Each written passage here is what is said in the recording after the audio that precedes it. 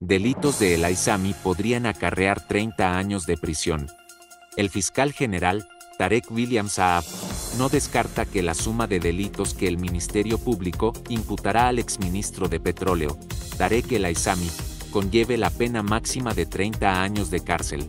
Aseguró la noche del martes, en una entrevista con 360 en Venezolana de Televisión, que la multiplicidad de delitos nos da la máxima pena.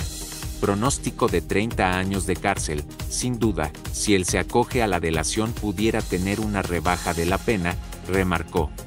Informó que las detenciones de El Aizami, Samark López y Simón Serpa se realizaron en Caracas, unas horas antes de dar la rueda de prensa,